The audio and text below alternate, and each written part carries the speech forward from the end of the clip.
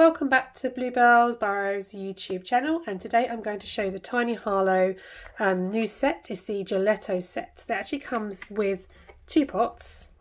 Comes with the cherry and the lemon um, gelato but I will show you the lemon first. So they all have um, a little scratch and sniff sticker on top.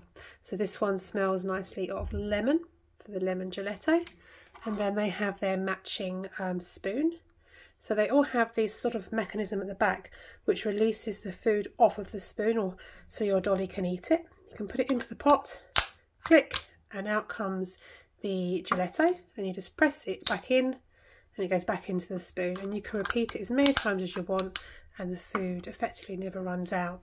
I'm going to use um, Jade here. She's one of our Minikane dolls that we sell at the Burrow. But you could also use an Ollie doll or a Tiny Tears doll or a dinosaur or a anything really. It just needs to have something to press against so the uh, ice cream can go back into the spoon.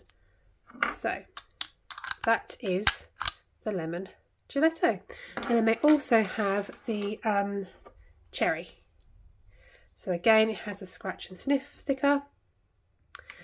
And then um, there's quite a nice bright sort of cherry colour. I'll just pop that ice cream back in. And then you put it back into the pot and out comes the ice cream for your dolly.